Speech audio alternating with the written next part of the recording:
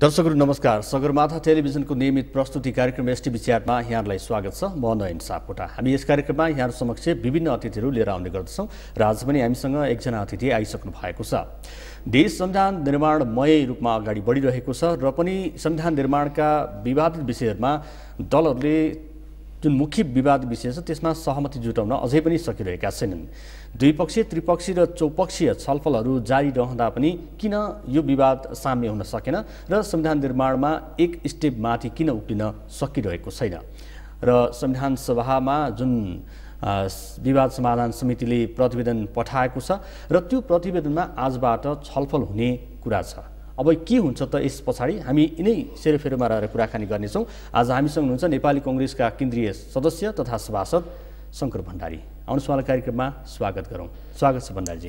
धन्यवाद नयनजी अब कस्तो देख्नुहुन्छ संविधान निर्माणको काम पछिल्लो समयको गतिविधिलाई हेर्दाखेरि हामी अझ माथि जाँदैछौँ अझ पछाडितिर धकिलिँदैछौँ एकदमै पछाडि। आजसम्मको अवस्थामा स्पष्ट रूपमा भन्नुपर्दा पछाडि। र हामीले भदौ असोज कार्तिक मङ्सिर चार महिना जनतालाई झाँटेका छौँ पूर्ण रूपमा जनतालाई धोका दिएका छौँ र भ्रमिक कुरा हामीले गरेका छौँ। असत्य कुरा बोलेका छौँ। यसो भनिरहँदाखेरि आत्मग्लानी हुन्छ अथवा हामीले के भएको छ र जहिले नै यस्तै त हो नि भने जस्तो लाग्छ कस्तो? होइन आत्मग्लानी छ। एकदम आत्मग्लानी छ। यो आत्मग्लानी छ भन्दा पनि यो यी राजनीतिक कर्मीहरू यस्तै कुरा बोल्छन् यसलाई लाज छैन भन्ने किसिमको बुझाइ जनताको हुन्छ। आत्मग्लानी छ र आक्रोश पनि छ। भन्न त अब डाक्टर बाबुराम भट्टराईले पनि यो ग्लानी सहितको प्रतिवेदन मैले बुझाउनु बाध्य भएँ भनेर उहाँले भन्नुभयो। त्यसमा त्यो ग्लानीमा तपाईँहरूको पनि त्यसमा चाहिँ केही अंश चाहिँ छ होइन हेर्नुहोस् न स अब सहमतिको नाममा एउटा स बाबुराम भट्टराईजीको नेतृत्वमा एउटा समिति बन्यो संयोजकत्वमा अथवा समितिमा विभिन्न पार्टीका विभिन्न ढङ्गले मान्छेहरू चाहिँ सहभागी छन्। र त्यो एउटा कस्तो अवस्थासम्म हामी पुग्यौँ पछिल्लो समयमा त भने पछिल्लो पटक अब सबैलाई थाहा भएको कुरा सार्वजनिक कुरा हो तर यसमा नैतिकता बोध भएन र यसमा सम्माननीय अध्यक्षजीप्रति पनि मेरो उहाँको भूमिकाप्रति पनि मेरो असहमति र असन्तुष्टि मैले बारम्बार भनेको हो। कम्तीमा पनि हामीले त तपाईँको संविधान सभाले एउटा औपचारिकताको लागि पनि एउटा निर्णय गर्थ्यो। बाह्रमजीले सात दिनको समय पाउनुहुन्थ्यो दस दिनको समय पाउनुहुन्थ्यो एउटा प्रतिवेदन दिनुहुन्थ्यो फेरि हामी म्याथ थप्थ्यौँ संविधान सभामा। छलफल गरे जस्तो हुन्थ्यो। अनि म्याथ थपिन्थ्यो। र त्यसको श्रृङ्खला के थियो भने अन्तिम पटक कार्तिक पन्ध्र गतिसम्म यो अन्तिम पटक भनौँ हामीले जुन समय थपेको थियो संविधान सभाले त्यो समितिलाई त्यसपछि सोह्र गति प्रश्नावलीसहित चाहिँ प्रतिवेदन पेस गर्ने भन्दा त्यो बिचमा संविधान सभाको बैठक पनि छैन। तोकेको संविधान सभाले गरेको निर्णयको कुनै समयको कुनै मूल्य पनि छैन। र यस्तो किसिमको अराजक ढङ्गले जनताको सार्वभौम सत्ता सम्पन्न यो संविधान सभा आज चाहिँ यस्तो अराजक र मनोमानी मनोमानी ढङ्गले र चाहिँ मैले सुरुमै भने अब चाहिँ पूर्ण रूपमा देश र जनतालाई धोकाउने किसिममा चाहिँ समय वृद्धि गर्नुहुन्छ। विधि र विधान चाहिँदैन। र हामीले जे गर्यो त्यही विधि हो। त्यही विधान हुन्छ। यो यो अवस्थाले गर्दाखेरि कसलाई चाहिँ फाइदा भइरहेछ वास्तवमा भन्नुपर्दाखेरि? फाइदा कसलाई थाहा छ देशलाई र जनतालाई ठुलो घाटा भएको छ। हामी समग्र नेपालीलाई ठुलो घाटा भएको छ। देशको समृद्धिको कुरा हामी धेरै गर्छौँ। देशको निर्माणको लागि यो चरित्र यो भूमिका र यो यो चाहिँ गैर जिम्मेवारीपनले अपूर्णीय क्षति हुँदैछ भन्ने मेरो विश्वास हुन्छ अब तपाईँहरू त ठुलो पार्टीको रूपमा दरिनु भएको छ होइन। संविधान सभामा बहुमत जनताहरूले तपाईँलाई दिएका छन्। जुन अभिमत यहाँको छ अब नेपाली कङ्ग्रेसको भूमिका चाहिँ संविधान सभामा पनि त्यति दरिल रूपमा आएन भन्ने जुन प्रश्नवाचक चिन्हहरू धेरै लगाइरहेका छन्। साँच्ची कि त्यस्तो हो अथवा फरक छ? होइन जबसम्म परिणाम आउँदैन प्रमुख जिम्मेदारीमा बसेका जिम्मेदारी लिएकाहरूको जवाबदेता जिम्मेवारी हुन्छ। प्रश्न उठ्छ त्यो त्यो सत्य हुन्छ र हामीले त्यो कुरा सहर्ष स्वीकार्नुपर्छ। अब ढाक ढाक छोप छल छामको समय छैन हामीसँग। हामीले धेरै गरिसक्यौँ। त्यस कारण कुरो के छ भने तपाईँको म अर्को पनि मेरो आज जिकिर छ आज साथीहरूलाई हामीले अनौपचारिक रूपमा त कुरा गरेका छौँ लामो समयदेखि। सबै दलका सभासद साथीहरू छौँ। हामी सबै सभासदहरू पनि जनताप्रति उत्तरदायी हुनुपर्छ। संविधान सभाको सदस्यको हैसियतले जे गल्ती भइरहेछ आफ्नै पार्टीबाट आफ्नै नेतृत्वबाट गल्ती भएछ भने पनि त्यसलाई अब हामीले ठुलो ठुलो हेरेर बसेर अब त्यो कुरा त्यो अप्रत्यक्ष रूपमा परोक्ष रूपमा त्यसलाई त्यही त्यस्तै चरित्रलाई त्यही भूमिकालाई हामीले सहयोग गरेर बस्ने अवस्था छैन। देश र जनताभन्दा माथि हामी हुन सक्दैनौँ। देश ठुलो हो जनता ठुलो हो त्यसपछि मात्रै हाम्रो आस्था र विचार हाम्रो चाहिँ आस्था र विचार सङ्गठित हाम्रो पार्टी ठुलो हो भन्ने किसिमको अब अहसास हामीले गर्नै पर्छ र व्यवहारमा त्यो अनुभूति अहिले हुने गरी हाम्रो भूमिका आउनुपर्छ। अब संविधान सभाभित्र छलफल गरौँ। आफ्नो विश्लेषण मूल्याङ्कन धरातली यथार्थमा। उभिएर देश र जनताको साँच्चै हित हुने कुरामा। मैले के बोले मेरो स्वार्थ कहाँ पुग्छ कसरी म आज यो चाहिँ यो भूमिकामा आएको छु भन्ने पछाडि नलागिकन म जहाँ होला म भोलि भूमिकाहीन हुनु पर्ने किन नपरोस् मेरो आत्माले देखाएको कुरा र मैले जे देशको बुझेको छु त्यो अनुसार अब अगाडि बढ्छु भने हरेक सभासद साथीहरूले आदरणीय माननीयजीहरूले सोध्नुपर्छ र माननीयजीहरूले धेरै कुरा बाहिर बोलेको कुनै अर्थ छैन अब संविधान सभाभित्र आजकै दिनदेखि यो संवैधानिक उच्च स्तरीय राजनीतिक समाज समिति बाबुरामभट्टको जुन छ त्यसको कुनै औचित्य छैन र कागजको खोस्टो चाहिँ बुझायो मेरो भाषामा त्यो कागजको खोस्टो जसको औचित्य छैन त्यस कारण अब त्यतातिर नलागिकन जे भयो भयो गल्ती भयो गल्तीबाट सचिनु पनि राम्रो कुरा हो समय छ जनतालाई र देशलाई साँच्चै हितुन काम गर्दैछ भने दुई चार महिना अब फेरि पनि लिए पनि केही फरक पर्दैन तर परिणाम आउनुपर्छ अब यो जुन विवाद समाधान समिति जुन जसरी गठन भयो संसदको मिनी संसद भनेर चिनिने जति पनि समितिहरू बनेका छन् र यो मुख्य समिति मार्फत प्रतिवेदन फेरि संविधान सभामा फिर्ता गएको छ। जहाँबाट पठाइएको थियो फेरि त्यहाँ गएको छ। अब फेरि पनि यतै प्रतिवेदन फर्केर आउने हो कि भन्ने खालको टिप्पणीहरू पनि भइरहेका छन्।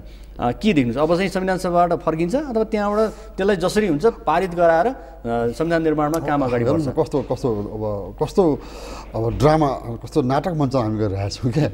एकतिर कङ्ग्रेस एमाले सहितले त्यही समितिभित्र पनि बहुमतले एउटा आफ्नो साझा अवधारणा हामीले दियौँ कहिले के भनिन्छ त्यो साझा अवधारणामा छलफल गर्न त्यसलाई चाहिँ त्यही ढङ्गले छ त्यो त्यसलाई पनि संविधान सभामा लाने र अरूको अरूका पनि आफ्नो दृष्टिकोण त्यहाँ लाने भन्ने सहमत गरिन्छ भोलिपल्ट त्यो होइन त्यो हुन सक्दैन भनिन्छ यो श्रृङ्खला पनि लामै चल्यो त्यसपछि अन्तत गत संयोजकले नै आफ्नो चाहिँ स्वाभाविकै चाहिँ अधिकार प्रयोग गरेर प्रतिवेदन पेस गर्ने भनियो सहमति भयो त्यसपछि फेरि संयोजक बाबु डक्टर बाबु भट्टले के भन्नु भने यो त छलफलको लागि होइन के को लागि त त्यो? के को लागि? उहाँले यति लेख्नु भएको छ उहाँले प्रवचन दिनुभएको छ हामी सुन्ने संविधान सभामा र उहाँले लेखेको हामी पढ्ने त्यसको लागि।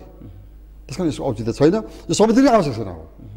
फेरि पनि तिर अल्मलियो भने यही बाहनामा सहमतिको बाहनामा किनभने मैले सुरुदेखि भनेको छु यो राजनीति हाम्रो मात्रै हातमा छैन। अब हामीले साहस र सामर्थ्य देखाउनेको बेला हो यो। किनभने हाम्रा हरेक परिवर्तनकामी आन्दोलन महान छन्।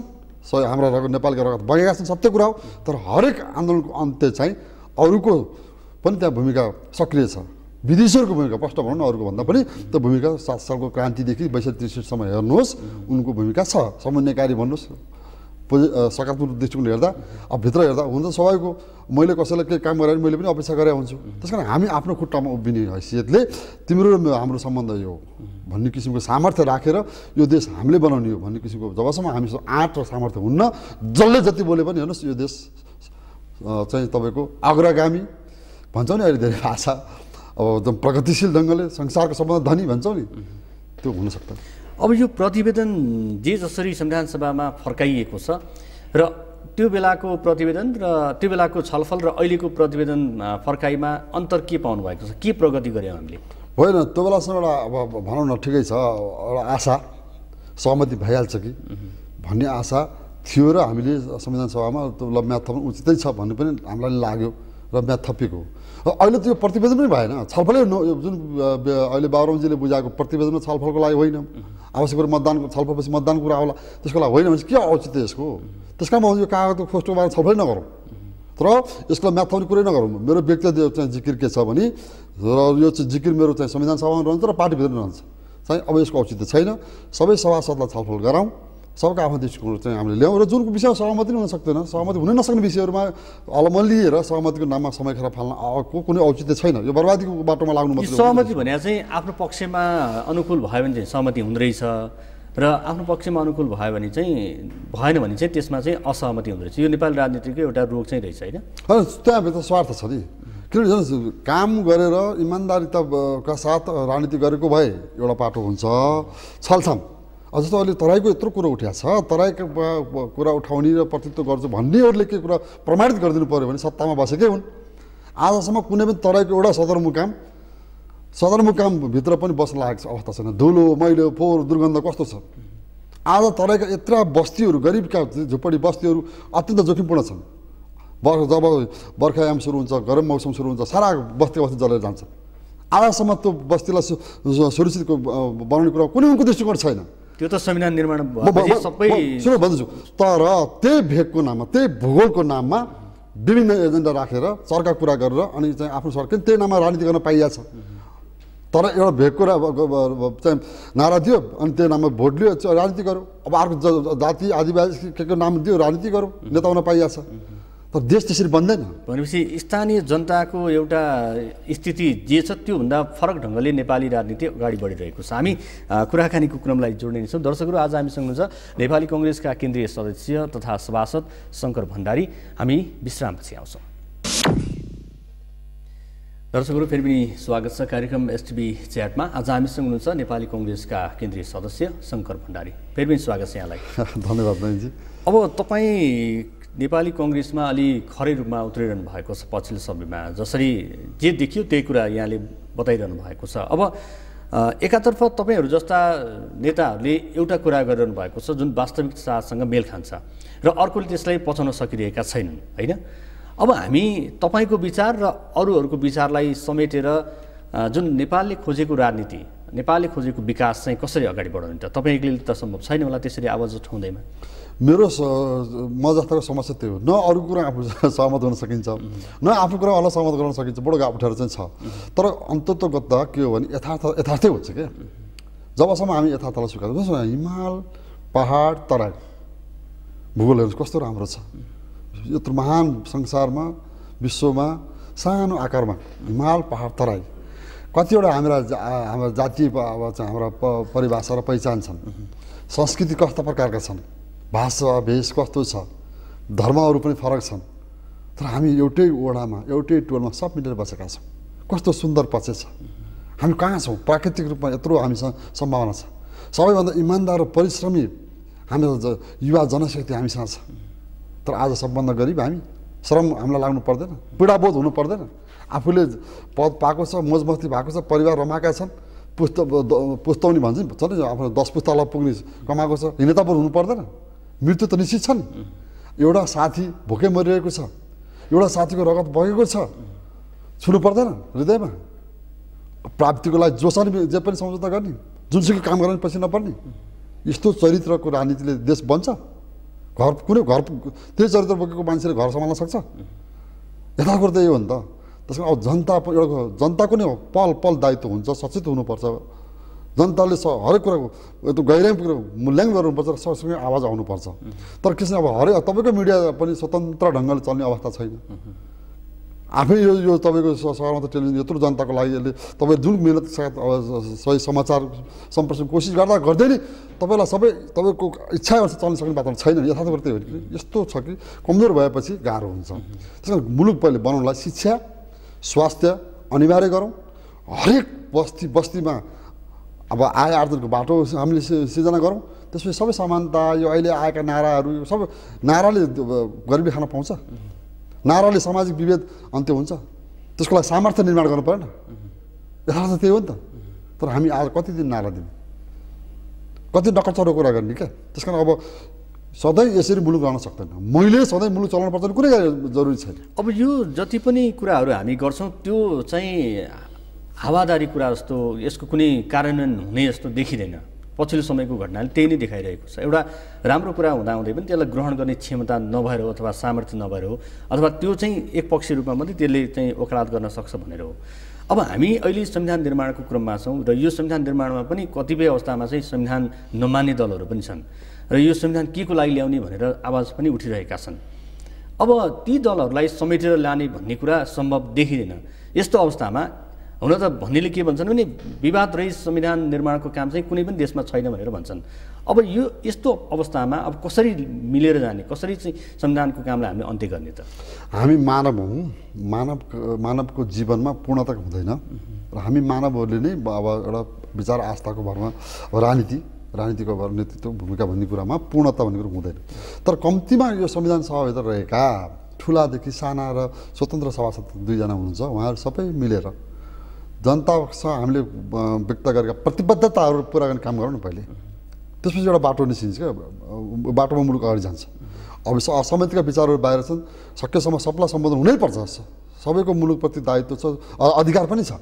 तर कम्तीमा संविधान सभाभित्र त मुलुक बनाउने कुरामा साँच्चै जनतालाई चाहिँ अधिकार सम्पन्न हुने किसिमको व्य- व्यवस्था गर्ने कुरामा त एकमत हौँ यो तपाईँलाई भन्छु एक मिनट सम्भव छ? जातको नाममा अब यहाँ कुनै कुरा विभक्त गर्न सम्भव छ? अब त्यो त आजको। दिनसम्म अहिलेको म वर्तमान मौजुदा संरचना पचहत्तर जिल्लामा सरकारी कार्यालयहरू व्यवस्थित हुन सकेका छन्। सुरक्षामा ख अहोरात्र खटिने सुरक्षा नेपाल प्रहरीका इकाइहरू युनिटहरू आजसम्म एउटा भवनमा बस्न नसकेर छाप्रो मुनि बसेको अवस्था होइन? अनि आकाशबाट झर्छ रुख पात हो भोलि चाहिँ जताभाइ संहिता बनाएर। त्यसो यो सबै कुरा के छ भने भ्रमको कुरा हो। जनतालाई एउटा चाहिँ विकल्प खोजेका छन्। हुन्छ कि त? हाम्रो अब दिन आउँछ कि त? गरिबीले सधैँ हामी थिचो मिचो भएर चाहिँ थिचोलिएर ब- अब हामी यति पीडामा छौँ भन्ने एउटा आश गरिबलाई छ। विपन्नतामा झगडीको समुदायलाई छ। तर यो सपना दिने काम बाहेक त्यो त्यो व्यवस्था गर्ने र त्यो वातावरण सिर्जना गर्ने जो अब भूमिकामा बसेकाहरूलाई कुनै पनि नैतिकता र जवाब त्यो इमान्दारिता छँदै छैन। यो माघ आठको जुन भाका छ त्यो भाकामा सभासदहरूलाई आजकल सन्देशहरू आउनु थालेको छ अरे मोबाइलमा। तपाईँलाई पनि आएको छ? ब्याङ्क दैनिक आउँछ अब यसको पछाडि एउटा यसको यहाँ पनि के के छ हुनसक्छ थाहा छैन। अब कसले के भन्छ भन्ने कुरा स्वाभाविक हो। हाम्रो भूमिका चाहिँ इमान्दारितापूर्वक चाहिँ देश र जनताको हितमा अहिले स्पष्ट हुन सकेको छैन। भूमिका हामीले प्रदर्शन गर्न सकेका छैनौँ। त्यसको आलोचना स्वाभाविक छ। त्यसमा अन्यथा सोध्नु कुरा छैन तर कतिपय चाहिँ एसएमएस यसरी आइरहेका छन् कि त्यो त्यो एउटा भन्छ नि एउटा एसएमएस गर्न नि एक कति पैसा खर्च त हुन्छ नि एउटै व्य- व्यक्तिले दसौँ पटक खर्च गरिरहेको छ त्यो खर्च कहाँबाट छुट्याएको छ त्यो अर्को बाटो तर आलोचना त स्वाभाविक छ। गल्ती गरेपछि टुट्यो भने चाहिँ आलोचना त हुन्छ।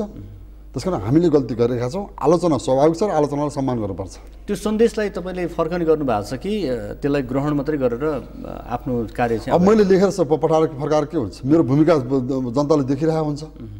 हरेक सभासदहरूले के गर्छन् सबलाई सबलाई थाहा भइरहेको कुरालाई। अब हामीले के कुरा त्यहाँ फेरि म्यासेजमा त्यसरी फर्काउने भूमिका देखाउनु त्यो संविधान सभामा? परिणाम दिने हो। त्यस्तो कुराको उत्तर त्यो हुन्छ। अरू कुरो लेखेर के हो? उत्तर प्रत्युत्तरको अर्थै छैन नि। अब यो माघ आठभन्दा अगाडि जुन राष्ट्रिय सरकारको कुराहरू पनि आइरहेको छ कतिपय अवस्थामा सरकार परिवर्तन गराएर एउटालाई जिम्मा दिने अनि उसको नेतृत्वमा संविधान निर्माण गर्नेदेखि लिएर यही सरकारलाई चाहिँ कायम राखेर संविधान निर्माण गर्ने कुरा पनि छ। त्यो त्यति सम्भव होला जस्तो त देखिँदैन तैपनि तपाईँले सुन्नुभएको कुरा चाहिँ कस्तो हो? होइन सुन्नुहोस् एउटा दिएर नि भएन। ए माओवादीलाई अब अहिले संविधान सभामा सबभन्दा ठुलो भूमिका निर्वाह गर्ने उच्च स्तरीय रा- राजनीतिक संवाद सहमति समितिको जिम्मेदारी पनि ए माओवादीलाई दिइयो एक महिनाभन्दा बढी संसद अवरुद्ध गराएर फेरि उच्च स्तरीय राजनीतिक संवाद समितिको चाहिँ संयोजक हुने प्रचण्डजीलाई दिइयो दिएर त भएन परिणाम। यदि सर त्यसमा पनि सरकारकै कुरा हो भने छिटो गरौँ। काङ्ग्रेसका प्रधानमन्त्री अब अहिले नफेरौँ उहाँको प्रतिबद्धता छ। संसदले बनाएको दुई तिहाई बहुमतको समर्थन बनेको सरकार हो। काङ्ग्रेसका सबै मन्त्री फिर्ता बोलाउँ। केही आपत्ति छैन अब हाम्रो पार्टीभित्र आलोचना भइरहेको छ मन्त्री कामै गरिरहेको छन् यी मन्त्रीहरूले व्यक्ति केन्द्रित छन् भन्ने पार्टीभित्रै ठुलो चौरको आलोचना भएर यी मन्त्रीको फिर्ता बोलाउनु कुनै समस्या छैन काङ्ग्रेसलाई। को को आउने आउँ। छिटो आउँ तर स्पष्ट रूपमा आउँ। त्यो पनि भित्र इच्छा राख्ने बाहिर चाहिँ फेरि अरू चाहिँ त्यो कुनै नाटक मञ्चन नगरौँ। स्पष्ट बोलौँ आम जनताको सामु बोलौँ संसारको सामु बोलौँ तुरन्त सरकार बनाऊँ। जो जो आए पनि हुन्छ। तर अहिले यसको सत्तारूढ दलमा पनि त्यो त्यो राष्ट्र सरकार प्रमुखको आकाङ्क्षा देख्नेहरू चाहिँ रहेछन् होइन?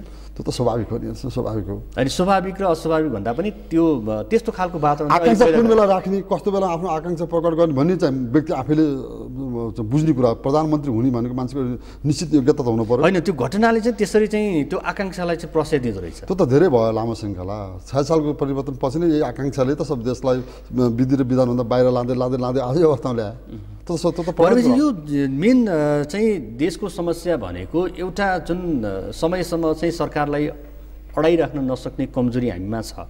किनभने उसको जुन योजना छ जुन प्रतिबद्धता छ त्यसलाई पुरा गर्न दिँदैनन् अरू दलहरूले र त्यसलाई सरकार ढाल्ने काममै हामी लागिरहेका छौँ। अहिले पनि त्यही प्रक्रिया हुन खोज्दैछ?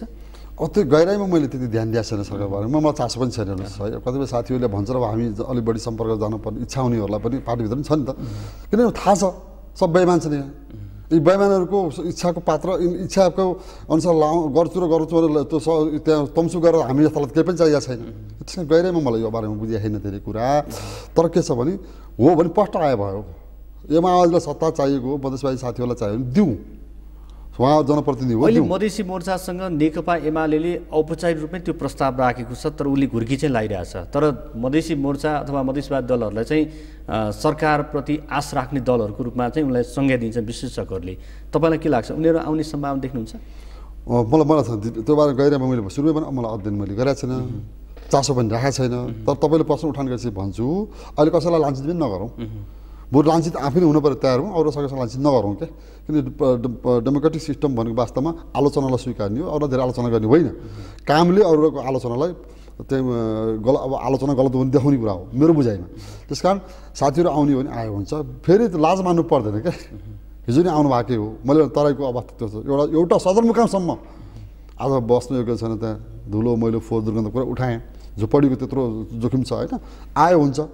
प्रचण्डजीहरू नै आयो हुन्छ दुई दुई पटक उहाँहरू पनि सरकार नेतृत्व गरिसकेका मान्छेहरू जनप्रतिनिधि जो आए पनि हुन्छ तर आउने आउनु पऱ्यो फेरि धेरै बाहना किन? कसलाई झुकाउने कसलाई भ्रम पार्ने?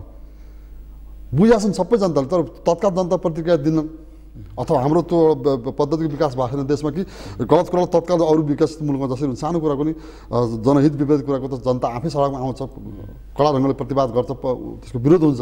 यहाँ त्यो पद्धतिको विकास भएको छैन। अब अन्तिम भनिदिनु होला सं- अ, जुन विवादित विषय छ त्यो विवादित विषय संविधान सभामा गएको छ अब फेरि फर्किन्छ कि फर्किँदैन म त मेरो स्पष्ट दृष्टिकोण यो समिति भङ्ग हुनुपर्छ अझै बाबुराम भट्टराईजीको संयोजक समिति। अर्थ छैन यसको। संविधान सभाले भङ्ग गराइदिने। यसको भङ्ग संविधान सभाले बनायो भने त नियम नियम बनाएर यसलाई भङ्ग गर्ने। र हुने चाहिँ जस्तो मेरो दृष्टिकोण स्पष्ट छ यसमा प्रदेशको सबभन्दा ठुलो तिनभन्दा बढी प्रदेश नबनाऊ। नयाँ अभ्यास हो गरिब देश छ। त्यो अभ्यासमा सफल भए पाँच बनाउन सकिन्छ सात बनाउन सकिन्छ। आठको कुरा नि आइरहेको सुन यो यो अर्थै छैन। यो अहिले बनाउनलाई बनाऊ भोलि फेरि मिलाउँ भन्ने एउटा तर्क चाहिँ छ। जसरी जे जे गर्नु संविधान जारी गरौँ फेरि मिलाउनु त भोलि मिलाउँला बोलाएको कुरा त गरौँ भन्ने एउटा तर्क छ। ल त्यसलाई पनि म मान्न तयार छु। तर साँच्चै बनाउने हो भने तिनभन्दा बढी हुनै सक्दैन। हिमाल पहाड तराईलाई छुट्याउनै मिल्दैन। यहाँ जातपातका कुरा व्यक्तिगत यस्ता समूह कुनै समूह केन्द्रित र जात विशेष कुरा आउनै मिल्दैन। सबैलाई समेटेर सबैको हित हुने गरी तिनवटा प्रदेश बनाऊ। अब हाम्रो चाहिँ गैरजी मेयरपन र च- अलगतान्त्रिक अलोकतान्त्रिक चरित्रले गर्दा संसदीय पद्धतिलाई दोष दिनु त्यो मूर्खता हो। त्यो त्यो काम नगरौँ। अब स्वतन्त्र न्यायपालिका कुरा छ। निर्वाचन प्रणालीको बारेमा सहमति गरौँ। हवस् त हामीलाई समय दिनुभयो। विचार राख्नुभयो। यहाँलाई धन्यवाद छ। धेरै धन्यवाद। दर्शक हुनुहुन्थ्यो नेपाली कङ्ग्रेसका केन्द्रीय सदस्य अनि सभासद शङ्कर भण्डारी उहाँसँग गरिएको कुराकानीको क्रम यति नै। सगरमाथा टेलिभिजन हेर्दै गर्नुहोला। नमस्कार। सगरमाथा टेलिभिजन तपाईँको तेस्रो आँखा।